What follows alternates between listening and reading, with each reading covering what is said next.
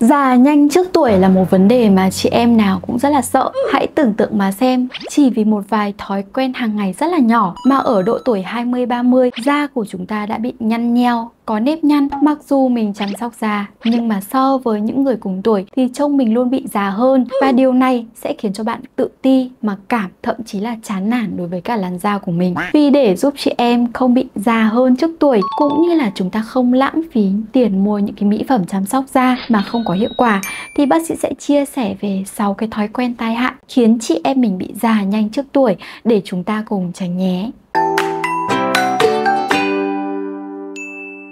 Đầu tiên là có thể là do chúng ta thức quá khuya này, ngủ ít, ngủ không đủ giấc sẽ khiến cho làn da của chị em bị xấu đi trông thấy. Da của chúng ta sẽ mất đi độ ẩm này, da xỉn màu, thiếu sức sống và làm cho chị em trông già hơn so với tuổi thật của mình. Ngoài ra, khi mình ngủ ít cũng khiến cho việc sản xuất những cái hormone tăng trưởng bị hạn chế.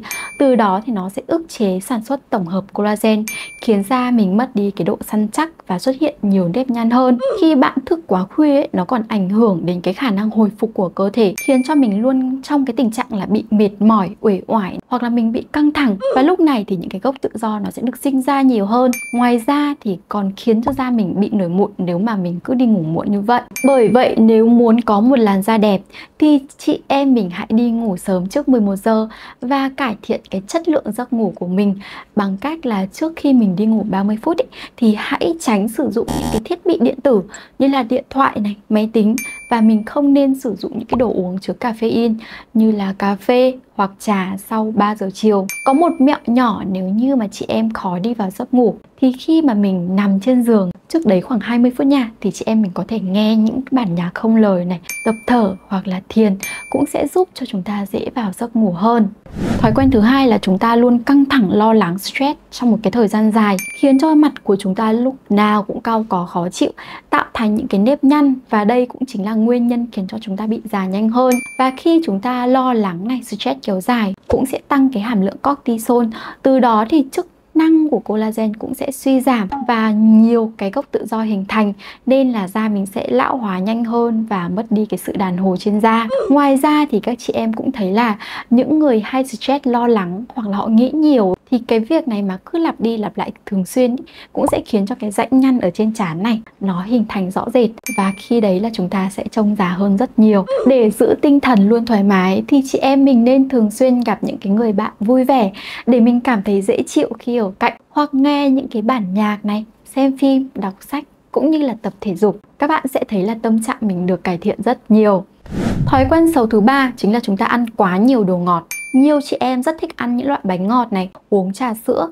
Những cái loại thực phẩm này khiến cho cái lượng đường trong máu của chúng ta tăng rất là cao, tạo ra một cái phản ứng là glycation hay còn gọi là đường hóa. Nó sẽ làm collagen và elastin bị bất hoạt và da mình sẽ mất đi sự đàn hồi.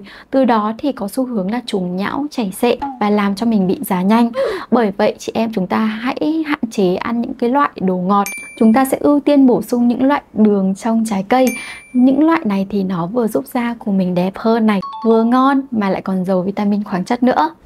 Thói quen xấu thứ tư thường là ăn nhiều thịt và không ăn rau.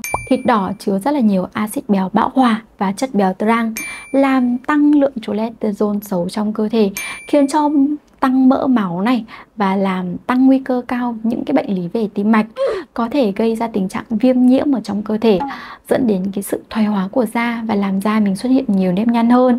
Trong một số cái nghiên cứu thì những người mà tiêu thụ thịt đỏ và thịt chế biến sẵn thì có nguy cơ mắc một số bệnh ung thư cũng như là những cái bệnh tim mạch cao hơn.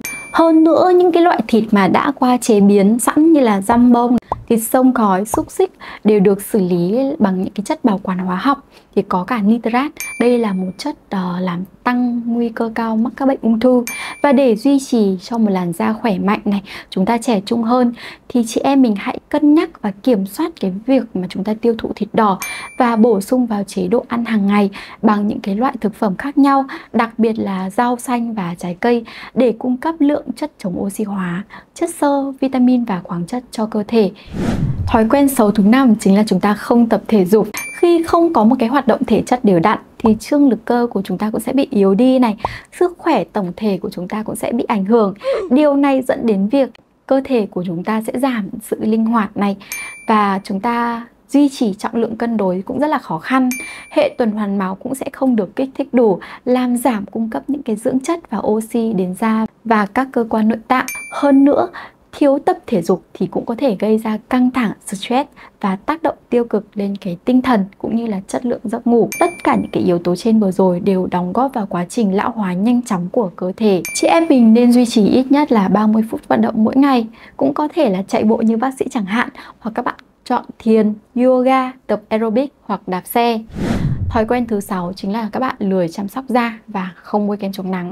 Nhiều chị em sẵn sàng chi hàng chục triệu để sử dụng những cái phương pháp làm đẹp nâng cao như là meso, laser, hai phu nâng cơ hoặc trẻ hóa da bằng những loại tế bào gốc nhưng lại quên chăm sóc da hàng ngày.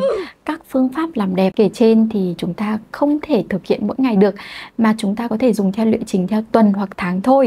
Nên nếu như mà chúng ta dùng những phương pháp công nghệ cao này mà không duy trì bằng chăm sóc da hàng ngày thì da của mình cũng sẽ xấu đi và không cải thiện được nhiều.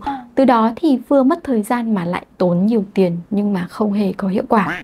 Ngoài ra, không bôi kem chống nắng cũng là một cái thói quen tai hại khiến chị em nhanh bị già. Tác động của tia UV từ ánh nắng mặt trời có thể gây hại cho da, bao gồm là cái tác động lão hóa sớm này, da mình dễ bị nám, bị sạm đen hơn những thế còn tăng nguy cơ mắc các bệnh về da như là ung thư da chẳng hạn. Như vậy rất là nguy hiểm. Chính vì thế chị em mình hãy duy trì chăm sóc da hàng ngày bằng cách là mình bôi kem chống nắng đúng cách và bôi đủ lượng và nên dặm lại kem chống nắng để bảo vệ da của mình được tốt nhất. Nếu như chị em mình tránh được những cái thói quen xấu vừa rồi và hình thành những cái thói quen ăn uống sinh hoạt lành mạnh kèm kết hợp chăm sóc da đúng cách hàng ngày thì bác sĩ tin chắc rằng chị em sẽ trông trẻ hơn so với tuổi. Nếu thấy video này hay và ý nghĩa, hãy chia sẻ đến nhiều người hơn để giúp họ có một làn da khỏe đẹp.